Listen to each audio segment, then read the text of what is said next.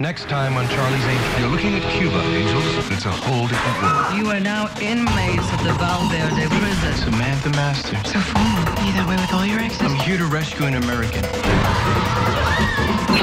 That's Jonathan Cartwright. The only cuts deals with drug cartels and terrorist groups. What the hell are you doing, Eve? Get the girls and get out now. How about you return our friend and we don't burn down everything you own? You can have your friend in exchange for Samantha Masters. We have deal,